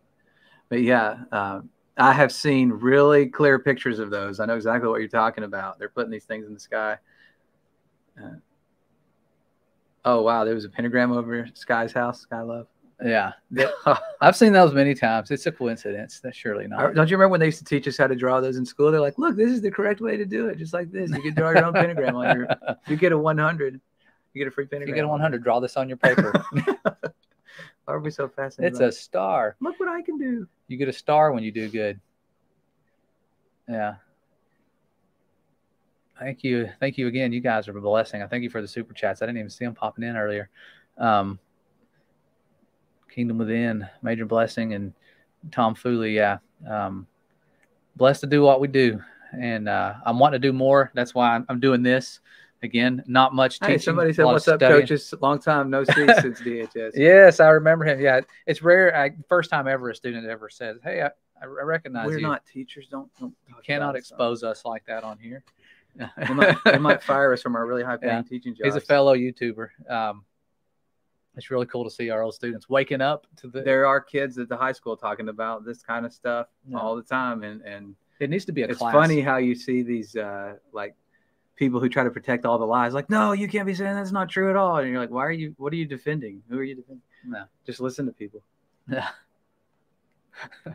yeah, it, it it's um it needs to be taught more to our youth, and they are they are targeting the youth like crazy. I mean, that is we were targeted. We were all targeted as kids uh, with this wisdom of the world. yeah It's why we grew up believing that you know the meaningless lies of accidental, just everything's an accident. You know. yeah but share the truth with everybody you meet man everybody that you get a chance to slit don't you know don't be too overbearing but uh i've had some success with a couple of guys that i know personally that we got to talking about the word and sharing some things and they were asking questions and i'm like hey you should check this out send them a link and and i'm yeah it's, it's kind of funny how people you wouldn't think would respond to it or like man that was really cool i gotta watch some more send me some more stuff you know and you're like Yeah. eh, i didn't know how you would take it it sometimes goes over terribly yeah, yeah. So um, what when we come back, when I have him on, I'm hopefully have him on again soon.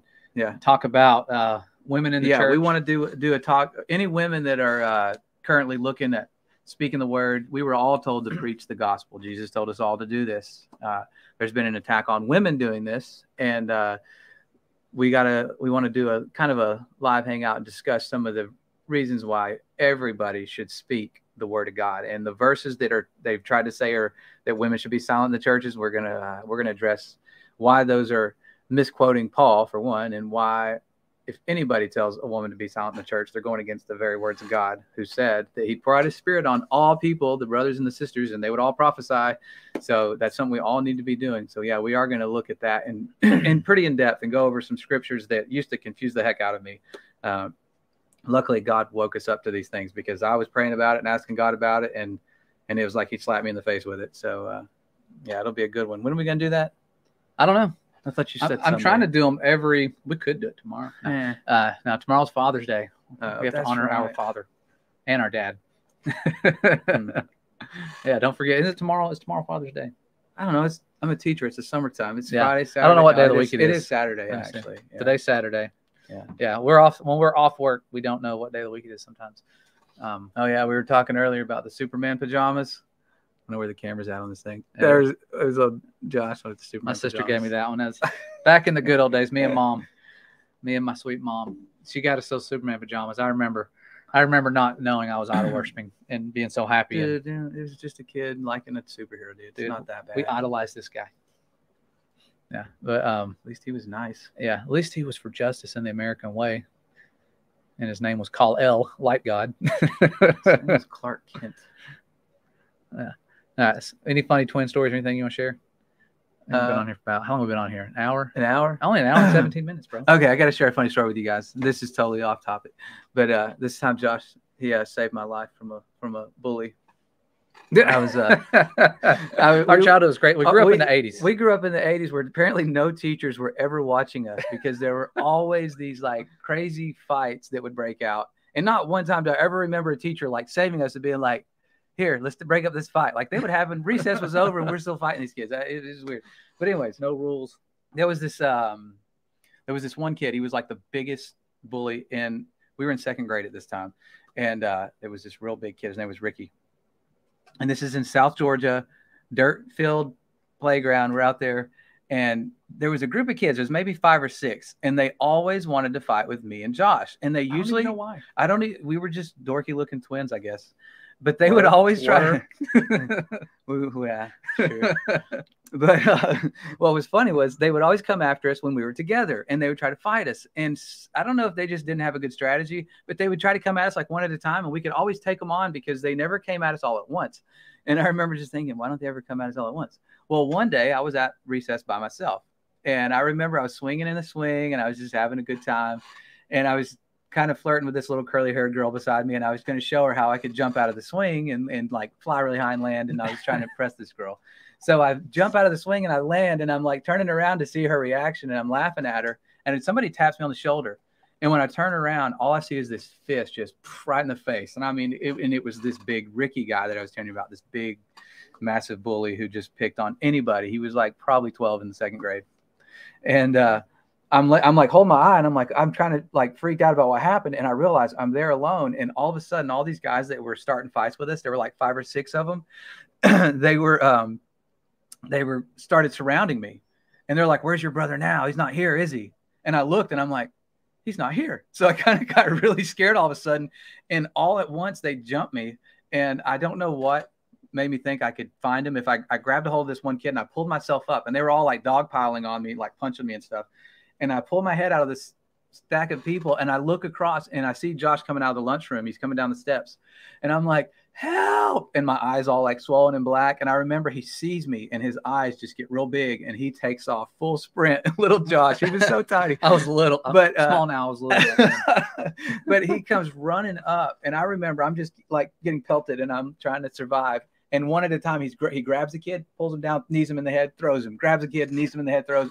He takes on this whole pile of kids that was attacking me because he was just, I guess, adrenaline or whatever. it was adrenaline. I was scared. We had seen every Van Damme movie, every Yeah. Ninja Turtle movie. We were prepared. It all came in handy in the blink of an eye. but what was funny was I was in shock because I was like almost probably in the fetal position getting attacked. And he comes over here like a ninja beating up all these kids. And then it comes down to Ricky, who's like the biggest bully in the whole school. And everybody just kind of was like, because Josh was taking on all these guys. And it was like, but here's Ricky. I'll never forget uh, whenever, what is it you grabbed? A, a I just- traffic I cone? Like, no, I, I grabbed a rock. Oh, a rock. No, he grabs a rock first. Didn't you Yeah. pick up a traffic No, cone? somebody So- got oh, me No, somebody tried to hit you one. Okay, but yeah, he picks up a rock and was like, uh, and he just throws it. And I remember hits him right in the neck, and the kid's like, oh, and they ru- God. recess ends, and the kids run off. And I remember holding my eye, trying to hide it from the teacher. And they're like, what happened? What happened? but it was like he was my hero. He destroyed this Yeah. whole. It was like Samson taking on all. Yeah. the, the next day we get it we get we get uh, called to the principal's office and they're like we hear you've bullied one of our kids yeah he's got a mark on his neck and i'm like yeah. what And I, I totally made up a story about my eye too. I remember the teacher, what happened? Even the principal, when I walked out, what happened to your eye? I'm like, I jumped out of the swing and hit a pole. But of course, mom pulls up in the car and sees it and goes, What happened to your eye? Who hit you? And instantly I'm like, Ricky. You know, and so she walks us into the office, and of course, his mom's there with him, and he's over there acting like he's a bullied kid, like they threw rocks at me. And they're yeah. It's funny how how people's perspectives change when they think they're in trouble. yeah he became pitiful. But yeah, I thought that was such a cool how his uh it usually he would have probably been afraid to do oh i was did, terrified of ricky. like i would have never went near him. when when your brothers are being attacked and your family and stuff it's it, it's it kind of takes a different different turn. No. But he did that again though one time. We had this uh we always have these funny stories but there was this really big i think he was an older grade than us big kid with a mullet that was pushing me at recess and he kept pushing me and i and this was in first grade this is a year earlier than that and uh i said stop i said stop it and and josh goes leave my brother alone he's like his, little voice and the guy pushed me Leave him alone. again and josh was like don't do it again of course this kid's a giant like mullet redneck he just kid had this big gut sticking out i never yeah, forget that big and uh, I was, and Josh, I remember just warning him, do it again. I'm gonna, you know, I'm gonna hit you. And the kid pushed me one more time, and Josh balls up his little fist and punches this kid right in the gut. And the kid had this big, like a my beer hand belly. sunk in like Yeah, 10 just- inches it was like boom right into the gut. and the kid falls down crying. Oh, and tells on us, man. It was hilarious. Uh, and I remember that the kid runs off and tells the teacher. Well, when that happened, Josh ran off, and I was just sitting there like, "What happened?" And the kid comes back with the teacher, and they start, "Who hit you?" And he looks at me and goes, "It was him." And back then we looked identical. And of course, here I am, getting in trouble because of this guy. already getting bullied and he got in trouble yeah, I was getting bullied, and That the teacher funny. yanked me by the wrist. He said it was you. He saw you do it. That's a good thing about having a twin anytime you get Oh, you got a twin story, Sky? You got to share with us. yeah You have to come on. We got to share twin stories. I told Josh we Yeah. just need to share we, we've got all We sorts of, of twin stories it could be a video i mean we've got crazy dreams and stuff all sorts Yeah. of crazy stuff There's been some really funny twin stories that we got. valley of the devote a whole shadow of death oops i'll try to click on a um on a uh yeah, Josh was Yeah. saving me every day, man. yeah it's funny we we ended up we were little we always got picked on and then we eventually got into wrestling and then he became like a bully and started beating up people. I was never a bully. I, i know I stood up for bullied kids. It was different. he did stand up for a bully kid. he stood up for some special needs kids one time. Um, they were getting bullied by this kid. Oh my god, I don't want to go into details. Yeah, well, it'll incriminate him. this. I don't wanna hurt- Yeah, but he stood up to a bully, and it was so it was so funny. That was high school. I was old enough to know better. No, it was middle school. it was eighth middle grade. school. Yeah. Oh, somebody said you shared dreams. No, he he had a he had a dream. I, Yeah. One night he woke up. He's like, man, and this is when we were in college. I'll give you the Yeah, we would always we would live we lived about 20 minutes from our 20 30 minutes from our college and in the mornings we'd carpool together because we we couldn't afford to stay on campus, and he was like, "Well, we'll drive in the morning." But my class was later in the day than his, but I would drive down there in the morning and just kind of hang out at campus just to save gas. and uh, one night we were, I was I had this vivid vivid dream that I was in the car seat. He was driving because he would always drive. I was sleeping. I had a late class. He had a morning class, so I'd be laying in the seat, passed out in the dream, I'm laying in the seat asleep and I kind of pop up and he is driving downtown Chattanooga where we went to school. And he's going through this intersection and I recognize the intersection and this white truck comes out and he's trying to cut somebody off at a red light and he hits this white or almost hits a black truck or black truck. He almost Yeah. hits this black truck. But I grabbed the wheel in my dream. I grabbed the wheel and I moved it. And I was like, What are you doing? You're driving like a madman. You're going to get us killed. And it was so real to me that I woke up telling him, like, dude, you were at this intersection. You almost hit this truck. And I explained, for whatever reason, I explained the, the dream in detail. And I'm like, you were driving like an idiot. I woke up mad at him because it felt so real. And then he was like, ah, it's dumb. That would never happen. Well, the very next day, I was sleeping in and I thought, "Ah, I did not want to, I'm not a morning person. I did not want to get up and go to school with him that next morning. I'm like, I can get somebody to take me. Mom can take me. It's my class isn't until noon. I don't want to get up at 7:30. So I'm laying there asleep. And and I remembered thinking about that dream and I got up and I went, ah, it was a stupid dream. Go back to sleep. 30 minutes later, he calls me and he was like, What intersection was that that you said you had that dream about last night where I had that wreck? And I'm like, uh, it was like High Street down there. It was like the corner of this intersection, and I just described it. And he's like, "What kind of truck was it?" And I told him, and he's like, "You're not going to believe this." He actually cut around somebody at a red light at the same intersection and hit this truck. oh my god And uh, yeah, that after that, I was like, if I had a dream, I was like, "Hey, don't don't go for a jog No. at three o'clock tomorrow." so essentially moral of the story he should have went with me and I did what he did in the dream but Yeah. he left me And he was like, he was he's like, just in real life, he was trying to pass around this big truck, and he didn't see that the light was actually red. Yeah, That's funny.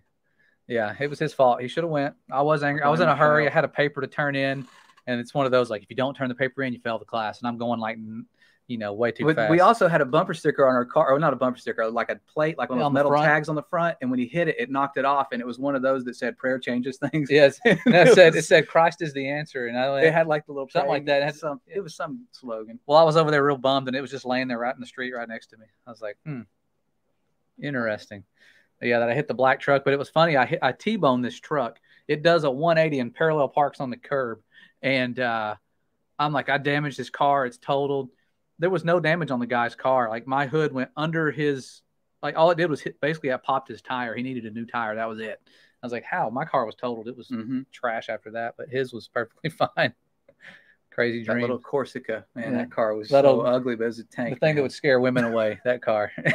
that was it. maybe that was why they never talked to me. that surely that was it. Um, someone said they share dreams with their twin. Have we? I don't think we've ever shared a dream with each other. Yeah, we have multiple times. I used to have recurring No. dreams though. No, we always show up dressed alike. That's our Yeah. curse. everyone's like, "What do y'all do that on purpose?" yeah. Oh, who got us into making the channel? Somebody said they just found us. Who got us into though. making the channel? Actually, I got in trouble. I was He did. I um I had a, another channel and I was like I'm going to put biblical teachings on here, expose all these false teachings about our Father because I was having miracles happen in my life. I already had one and, big yeah, miracle. and he started doing Yeah. stuff about evolution and, and the stuff like that. And he got called in at work, and they they were like, "You cannot do this. You can't put your face on this channel." And this was right about the time we discovered the flat Earth stuff. well, I was just And- bringing in, I was exploring the firmament. I was looking at it from a biblical standpoint and looking Yeah. at proofs of it. Um, I had, didn't know we had footage this, of it yet. 2016. I think so. It was around that time, late 2016, early 2017. And um, yeah, I got called in and they said, yeah, it's about your channel. Yeah. You know, and I'm like, what? I have 25 subscribers. Yeah. How did you find this- it? this? And so I think I had just put out my best NASA fails video and I shared it on in a comment of a space post on Facebook. And I didn't know that my friends would see that. That's but that's how it works. They can see Facebook shows your They friends show your what you friends- comment. Yeah. I didn't know that. And so I think that's what got me in trouble. If I'm doing my uh, mental investigation, I think that's what got me caught. But yeah, long story short, I got in trouble and I got angry that I, I knew that I would get taken out of my science position. They said they, they couldn't fire me. I wasn't doing anything illegal, but I just knew that it w- didn't look good. It doesn't look good. If- and if my boss doesn't want me to do that, Yeah. you know, I respect them, but I don't want to be quiet about it because the truth is important. And so, um, we were we were anonymous. We were kind of top secret on this channel for a long time, and then we just quit caring and said, you know what, who Yeah. cares anymore? once once the pandemic stuff started happening, and I ending felt like you know time is running out really quickly. I just kind of was like, we don't need to be hiding anymore. yeah, Um, if if I get in trouble for this, so be it. We've we've already we've um, stepped down from coaching, so we could devote more time to doing these types of things. yeah, and I want to do them every weekend. And that's why I'm doing this now. I didn't really have a whole lot of material planned or anything, but I feel like that's the problem. I always feel like we have to have everything planned and everything perfect and then do a video. But we are learning together, studying together. You guys teach me all sorts of things. And um, it's just been it's been a blessing some of the connections we've made just because you guys in the comments saying, Hey, have you looked into this? Have you read this verse? Have you done this? And um, I'll look into it. I do. We try to read every single comment, answer every question. It's not easy. I don't get to answer all of them. Sometimes I prioritize with the shadow ban. It's almost been a blessing because I don't have as many. Mhm. There was a time where I was commenting about, I mean, over a thousand times a day, re- answering questions, answering questions, uh, responding to people that hated us. Because when we created this channel and things were going viral back when it could, and it still does occasionally, the Father has his ways of helping us out with that. Um, but back when it was like quarter of a million views in three days, that's a lot of comments coming in. And you you really have to set, and you'll get a lot of hate. I mean, death threats, cuss words. Before I banned all the cuss it's words. It's funny. Like we got we got so used to trolls that it doesn't even affect us at all anymore because we realize it's demonic, man. It's, Yeah. it's funny. They're usually their attacks It's are not spiritual. Yeah, and, and once you see that, uh, it's like they're driven to attack you, and they can do it all day long. And and you know you you, you don't want to engage with these demons. You just want Yeah. to pray for them and Gi- giving them a smart remark giving them love. almost makes them get more power. So Yeah. just tell them you love them. Say, "All right, love you." start quoting scriptures to them. Sorry you feel that way, God's love. You know, maybe you'll get to know Tell them a Father. beloved creation. That yeah, and that's the one thing that really kind of silences them. Other than that, you can't really. Hmm. Interesting. Also, High places because you notice the observatories are always in, yeah, places. like the Vatican. and they're always in significant places too. they have to be in like old religious religious sites like the one in hawaii was that they were like that was their sacred ground and they were throwing people out and they would not say they would not cave to these people about building that observatory up there Yeah, they so said- it makes you wonder why did they have to have it in that specific spot but i think the people who are putting up these observatories they know they're looking for signs and for seasons at appointed times they're not looking for galaxies They've always don't studied these signs and see. They've always studied these appointed times and they've used them against us. And that's why when you when you look at books like um, in the Old Testament, Jasher, and even in like books like that, they talk about the kings always had these astrologers. They always and had these people. when the messiah came they were trying to stop him they knew that it was that time somehow how did they just randomly guess it you know yeah, they did the Vatican's Lucifer telescope. He, he mentioned that. yeah yeah, yeah. That's uh, that's that's what that stuff's about. They're not studying deep space. They're studying our firmament. And and crazy thing is, a lot of the people studying it probably have no clue why, why they're pointing lasers up there and studying and, and doing these things. They don't know um, what it is. We had telescopes for years growing up, and our grandpa gave us a have big one. one, and we were like, "Wow! Now I can see a star. It just looks like it's in water." You know, like um, no clue that I'm looking at the firmament. We were obsessed with it, but we Yeah. we have this I limited spent view. hours trying to find Mars, get it into view, and I was like, it just looks like a light in the sky. It just looks like a light bulb. I remember thinking that, like, yeah. it just looks like a luminary. Oh, wait, it is. Why do all these things? Why don't we have a clear photo of a star looking like a sun? You know, since they're out on the ISS. Yeah. You know, why haven't they? If they circled the Earth every 90 minutes, why don't they point their camera to the firmament or the deep space and just give us a time, like a perfect, just looking out at the stars around the world? You know, make that a big, nice, beautiful, clear, crisp panorama. No distortion, no atmosphere. And That's Can't never- see the stars from space. That's right. You can't sometimes. Sometimes you can't. Depends on the astronaut. Can't see is a deep black. It's a deep, yeah, it's a deep black. And uh, the Van Allen belts only affect us now that they've been discovered.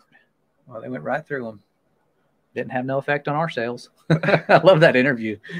Did you have that in your? Uh, Yeah, In your video? Final card. That was a good we one. went right through it. We didn't feel it on the inside. That's what he it's like, oh, that, we, he's like, well, the Van Allen belts are this many miles away, and he's like, well, then we went right through them. Maybe we didn't go far enough. Oh, it's right. It was on the way. I would hate to be in that big of a lie.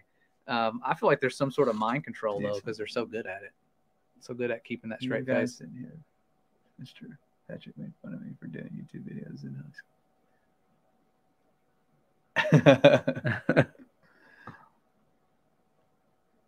wow. Dang, somebody made fun of you for making videos on. You'll never get anywhere.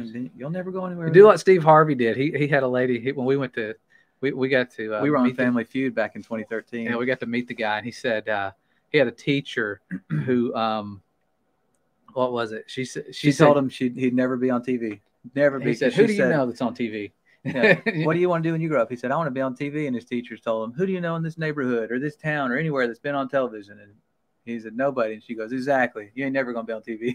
he said he sends her a television every year. Yeah. he gives her a TV. How funny is that? Surprised she's still alive. She's, his Ah, she's probably old. She's probably gone now. He probably just recycled that story. Oh my goodness, Skylove. I thought. Thank you. That's a blessing. That's the Euros from Europe. Where are you at, Skylove? Where are you located? Birmingham, Alabama. Somebody down here. Oh, Shelly Cox. That's that's not too far from us. Birmingham. I used to go up real close to. Uh, I used to go up towards like like I was going to Alabama to get back into my. I was in this place called Dade County, Georgia. I used to work in Trenton. Golly, but Birmingham. Yeah. Birmingham is actually fancy. I always I- thought of Alabama as Yeah. country, like Sweet Home Alabama, and I, I lived there for a summer, and I thought, man, this place is too fancy for me. I, don't- I don't fit in here. Everybody's too.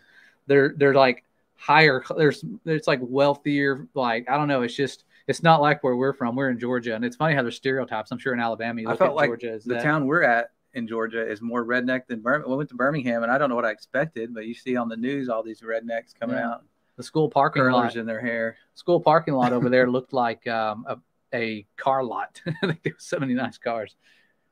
Yeah, that's crazy. Then we got Skylove said, "You're welcome, Amsterdam." Wow, it's so cool. We have people all around the world connected through these satellites coming at us Oh, live by satellite. Murfreesboro, Tennessee. we got Rico in here from uh, Tinfoil Sombrero. Yeah. I like that name.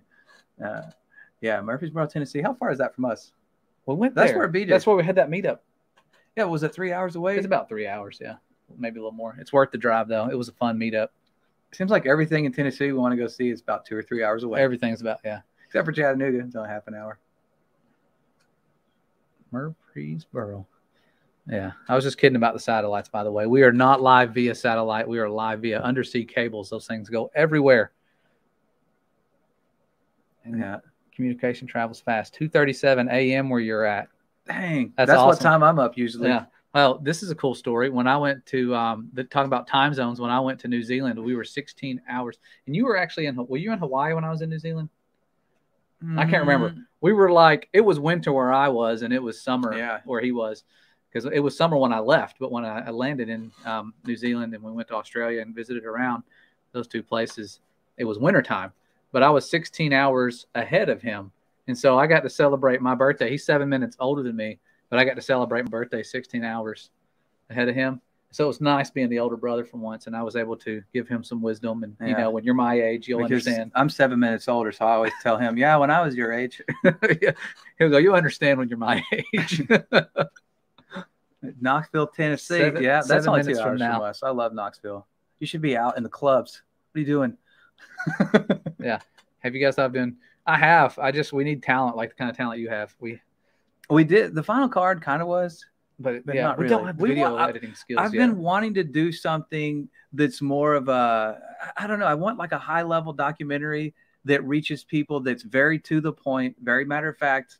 Uh, a documentary that that does it justice. That's just, that takes itself serious. I, I don't not like the level films and things like Yeah. that. Well, I want a video. I Uh, want like a movie that reenacts things, the deceptions, the lies, Operation Fishbowl, Von Braun's warning, um, actual, you know, animation versions of creation. We have the animated versions of the globe, but Mm. like starting from the beginning and going through not a real, you know, I mean, just like this real powerful um, why they lie question answered all in one swoop and how they lied, how they did the whole the moon stuff, you know, all the stuff, just all of it kind of put together in one yeah. Somebody said, "How do we contact you?" have you contact us. Um, our old channel name, Flat Earth Brothers, at gmail.com. Let me see if I have that yeah, in. flatearthbrothers at gmail.com. The old There you go. Anytime. Yeah, there you go. Um, I don't get a whole lot of messages. Um, usually I check it daily. That's the best way to, to message me. Some people try to find us on Facebook. That's not as often. I don't Yeah. go on, on our Facebook page and uh, check, but the links to our Facebook page and everything are at the top of our channel. But that is our email, our old channel name that we used to be Flat Earth Brothers. Those of you who are new, if you see that, that's why that some used people to be. were some people were mad that we changed our yeah, name. they got really upset, but I felt led to do it, and I couldn't go against the convictions I had yeah. to change it. He to- kept talking about talking about it. And I said, if it's on your spirit still, just change it. I mean, if No. if it wasn't from God, it wouldn't still be on you. yeah, it was it was becoming stronger, and I couldn't silence it. And I thought, you know, who am I going to try to make happy? These people or the Father? And He has a reason. That that word flat Earth words, I guess words flat Earth might scare people away. I don't know, but um, the Earth itself is just dry land, so it's not as technically flat, and uh, the water is. And so that was You're have to get me a better chair. yeah, better chair. Too squeaky and it falls back, doesn't it? Too- I got you some water over there too if you want. I'm good. I drank water yesterday. Yeah. He's fasting. No. yeah, founded makes more sense. It's created. He founded the world, and there's things to talk about. He founded it upon the waters. Uh, you'll see that word a lot. I had a, I have a presentation somewhere that broke down all the verses that support that, and uh, could have had a way cooler name, but uh, I called it the brothers because, of course, I have him. Thought we'd do a lot more together, but life Does water have enough fluoride in it? I don't know. It's fluoridated. Yeah, I went to the water Thank company. God. The water company actually has a plaque. Not kidding. I uh, I went. I watched a documentary called the uh, the culling of our water or something like that. It's on Amazon Prime.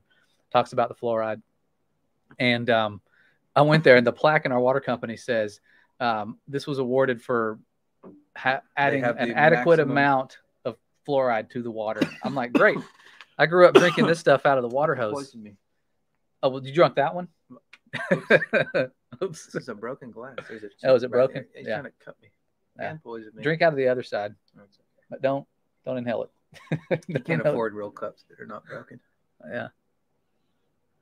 I'll just catch y'all later, starting from the beginning. Congrats. Awesome. Yeah, you might as well start over. We're just hanging out. We're not even talking. Yeah, we were telling twins. and I didn't get to cover every. I I didn't get to cover everything in the video. I wanted to cover. Um, I, I might make it a video all on itself, but I wanted to share some of the connections and some of the things and get input from people because I don't have all the answers, but I do think there's something to this Bel worship and the stuff we're seeing now Yeah, it's all it's it, it's in the high all, place, It's all biblical. the high places, the groves. The Book of Revelation is pouring out right now. So Yeah, you want to know what's going on now? Read the Bible. People always say, "Oh, back in the biblical days, we are in biblical days. It's not a thing of the past. We are in them right now, and we are being called out for that reason. That's why a lot of you are here in this uh, censored area of the internet because the Father's uniting us. He's bringing us back, and it's going to be nice for a lot of us starting uh, our next chapter, our new beginning. Some people look at it as the end. It's not. I mean, it is for some. They perish, but for those that don't perish or die the second death, it's going to be something we can't even imagine. some of y'all been waiting till the end of the earth now to start getting your life together. You're gonna Yeah. procrastinate like I have. Yeah. The world's ending. Let's get our stuff together. Come on, guys. Somebody says, I'll be. Oh, that'd be awesome. Yeah. We've got all sorts of talents. Kind of call it. He could be a cameraman, editor. He does high, his videos look really high quality. I don't understand. Like, I always wanted, to, like, I can get the fanciest camera, high quality, good mic, and it just looks like I shot it with a flip phone. Yeah. I I'm not tech savvy. I'm not. Um, I do like making videos, but here lately I've been going through a study phase as an answer to a prayer. I've been wanting to study. I'm not a real studious person. I kind of just like information fed to me. But you're kind of a nerd, so that helps. Yeah, being a nerd does help. But no, I never was really too like like a bookworm. No, like, you were more of a reader than me, and um, did better in school. Yeah, I learned how to read. He learned how to read. I didn't. Yeah. No, he actually was um, more advanced than me in school. Second grade, I was a super reader. Yeah. I Yeah, to go 'cause to they offered- they offered the book it pizza yeah. party. Yeah, that's how he read all the books in the library back then. for one pizza. Show up at Pizza Hut like, hey, hey, I'm back here. I read 50 books. Now give me the free pizza. I got you to I'll read though. My arteries. It's for a reason.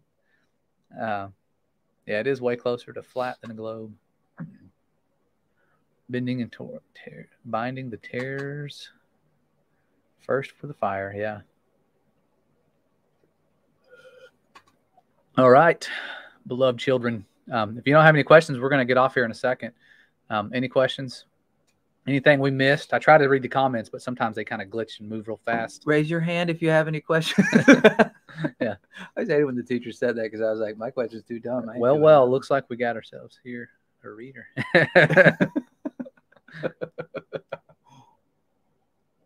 yeah. Thank you. Reality construct a holographic. Yeah. Yeah. Many, many miles to go. I always feel like that. What's that? Who was that poet? Robert Frost. Many miles to go before we sleep. I don't- I haven't read that Yeah. recently. I don't know. I read that like in middle school, but as you're working, you're doing all this labor. It's like many miles to go before we sleep, before we finally get to rest. We got a lot of work to do. Just turn, just tuned in. You missed it. We'll have to start over. We'll start over. It's common sense. 45. It's common What time- sense. What time is it right now? It's eight forty-five. Yeah, Eastern. Somebody asked if we're twins or both. Are we twins? Where'd they say? I missed It it. was down there. I tried to click on it, but your screen's not a touch screen. I keep doing that. It says I'm a little new to your channel. You guys twins, brothers. Or, yeah, we were talking about that earlier. He's my twin. I'm not his. Yeah, we're we're twins by marriage. no, we actually are identical twins. Yeah. we don't look identical anymore. His got- mom married my dad. He got dropped on his head as a kid. I was always much bigger. I was always the, the, the heavy set twin as we got older. Like when we got about 11, 12, 13, I went through this phase of being a little chunky. Yeah. And apparently I got back after college wrestling was over. I started gaining more weight and I got to like 180 and he was down to like 150. So we were like 30 pounds apart and people could just kind of tell I was the bigger one. But I've lost weight recently and um, people are at work are starting to confuse both of us like who's who, especially like they see us at school. They're like, wait a minute. Like my, even my sister principal, she's like, hey Josh, when's the baby due? And I'm like, Josh. And she's like, Yeah, when's your baby? And I'm like, I'm not. And she was so shocked that wasn't him. But uh, yeah, even my daughter was like, Daddy, I have a hard time telling you apart now because usually you're the chunky one. I was like, Chunky one? Jeez, I wasn't fat, was I? a little. He's sensitive about his weight. Don't make fun of his weight. Yeah. Just I'm kidding. sensitive about that. All right. Well, we love you guys. Um, I don't want to take more of your time away from your Yeah. loved ones. Thanks for tuning in. Yeah, thanks for joining us, sharing all your wisdom. I'm hoping to do these every single weekend. Every week. Yeah, Joy is a great moderator. Um, yeah, thank you for taking care of the bots. I know some of you guys do this stuff behind the scenes. I've made a few of you moderators before, and um, it helps. It helps a lot. Bots are trying to talk to us. Yes, these AI things, whatever they are, I don't know. They come in, they just share weird links. I love RoboCop. Yeah. He's trying They're to save taking us. over. Yeah. So we love you guys. The Father loves you. If I don't see any more questions, we'll get off here. Um, been fun. I like doing these things. I'm always really nervous at the start, and then kind of get to talking to you guys, and it, Yeah. Father helps us out a lot with that. Because Yeah, definitely shy. We'll be we'll be doing one. Don't forget, women in the church pretty soon. Uh, we got some good good notes on that for you guys. That'll Yeah. for you men and women both. This is for all of us because there's going to be people Have trying a- to silence us. Yeah. They Have- don't want to. Can't silence the voice of God. We got to get it. Yeah. how could we silence half the population? of women, shut your mouths. there. go preach the gospel, not you. You. yeah, yeah. But it's on its way. So All right. Well, stay tuned. yeah. Stay Look blessed. forward to it. Hopefully, we can do it live. You want to do it live? I think live. Yeah, we'll do it live. That's, Live's that's easier. more fun. I'll kind of go over your presentation, Yeah. edit, edit your mistakes. Yeah, out. No, I'm just kidding. I always make mistakes on my presentations. All right. Well, thank you guys again. Thank you for all the super chats. It's been an abundant blessing that we didn't never ask for, never beg for, but it does help.